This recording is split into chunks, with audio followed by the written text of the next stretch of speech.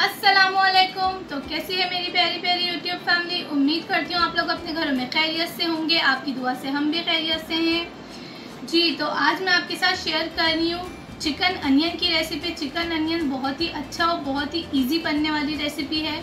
आधा किलो मुर्गी के हिसाब से हमें एक भर के टमाटर की प्यूरी चाहिए, एक प्याली हमें प्याज की चाहिए, चॉप प्याज चाहिए हमें। उसके अलावा एक प्याज को हमें इस तरह से पीसीस में करके रखना है बड़े बड़े पीसीस में। उसके अलावा हरी मिर्चें चाहिए, हमें पाँच से छः हरा धनिया हमें अपनी मर्ज़ी से चाहिए, ज़्यादा डालें तो ज़्यादा ले सकते हैं आप। मसालों में जो जो हमें चीज़ें चाहिए, काली मिर्चें पीसी हुई हमें चाहिए आधा चमचा। धनिया पाउडर हमें एक चमची, हल्दी पाउडर हमें चाहिए एक चमचा। रेड चिल्ली पाउडर हमें डेढ़ चमचा चाहिए, क्योंकि रेड चिल्ली का बहुत अच्छा टेस्ट आता है। इसमें हसबे जायका नमक चाहिए, एक चमचा गरम मसाला चाहिए हमें। उसके अलावा दो चमचे हमें लेमन जूस चाहिए दो चमचे हमें अदरक लहसुन का पेस्ट चाहिए और हसब ज़रूरत तेल चाहिए। चलें तो हम अपनी रेसिपी स्टार्ट करते हैं। मेरा यूट्यूब चैनल सब्सक्राइब करने के लिए रेड बटन पर क्लिक करें। बेल आइकॉन दबाने से आपको मेरी रेसिपी सबसे पहले फ्री में देखने को मिलेगी। वीडियोस अच्छी लगे तो हम सब दें। जी तो आधा कप तेल इसमें जा चुका है। अब इसमें लहसुन अदरक का पेस्ट जा रहा है।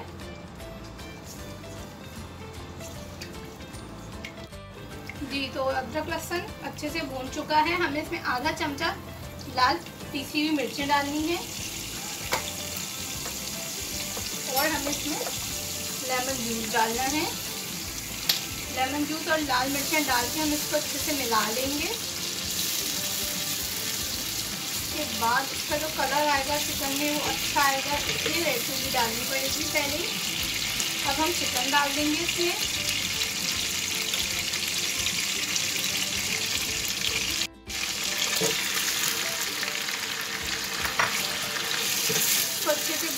लेंगे हम।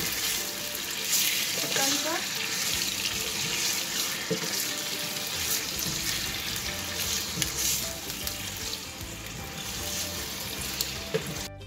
जी तो चिकन आप देखिए गोल्डन ब्राउन हो चुकी है। अब मैं बस इसको निकाल रही हूँ चिकन को।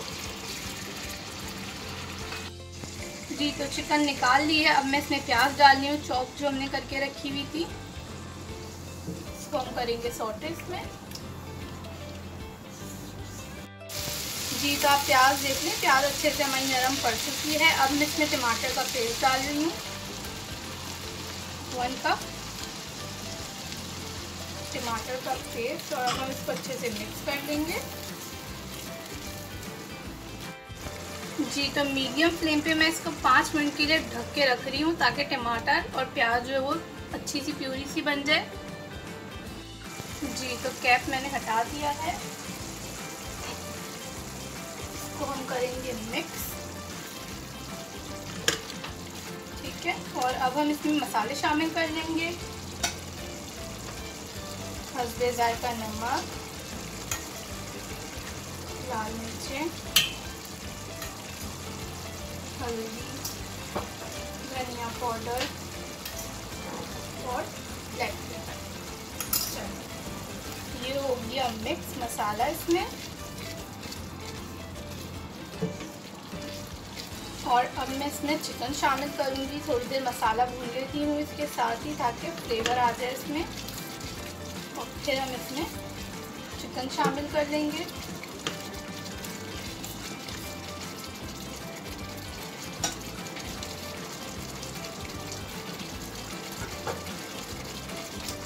ये गई चिकन हमने इसको करना है मिक्स चिकन के साथ। बहुत ही अच्छा सा बनने वाला है अनियन चिकन। जी तो आप देखें।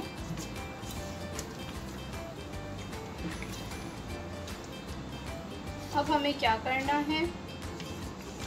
अब हमें इसमें जी तो हाफ़ कप हम इसमें पानी शामिल करेंगे। ठीक है, और इसको मिला के चिकन के गलने का वेट करेंगे, क्योंकि चिकन तो आपको पता है बहुत जल्दी गल जाती है। ये हमने मिला दिया है, इसमें आ जाएगा अच्छा सा बॉईल उसके बाद हम इसको कैप कर देंगे। मीडियम फ्लेम पे ज़्यादा हाई फ्लेम पे नहीं करना है मीडियम फ्लेम पे करेंगे हम। बॉयल इसमें आने लग गया थोड़ा थोड़ा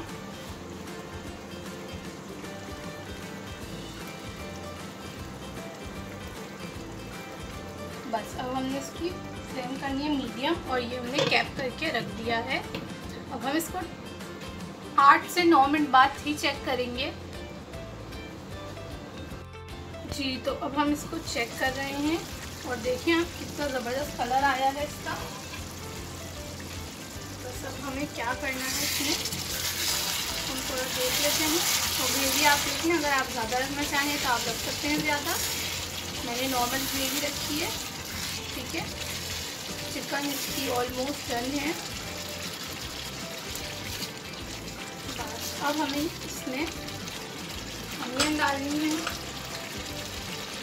हरी मिर्चें, साबुत, बिना कटी हुई डाल रही हूँ।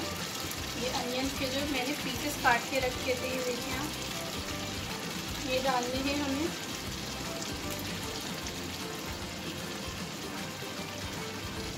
बहुत अच्छा फ्लेवर आएगा इसका। बहुत मज़े की लगेंगे। इसको हम कर देंगे मिक्स ठीक है। इसके अंदर डाल के अनियन हमने इसको पकाना है पाँच मिनट तक, ताकि अनियन जो है वो इसका फ्लेवर बिल्कुल मैच हो जाए। ट्रांसफ़र कर दे अपना। टेस्ट अनियन में भी। ठीक है। बस पाँच मिनट इसको हम भून लेंगे इसी तरह से।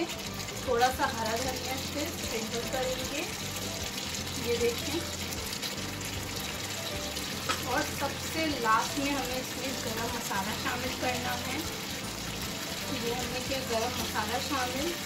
और बस इसको हमने बिल्कुल लो फ्लेम पे, क्योंकि हमें जो प्याज है उसको हमें बिल्कुल मतलब बिठाना नहीं है खड़ी खड़ी रह।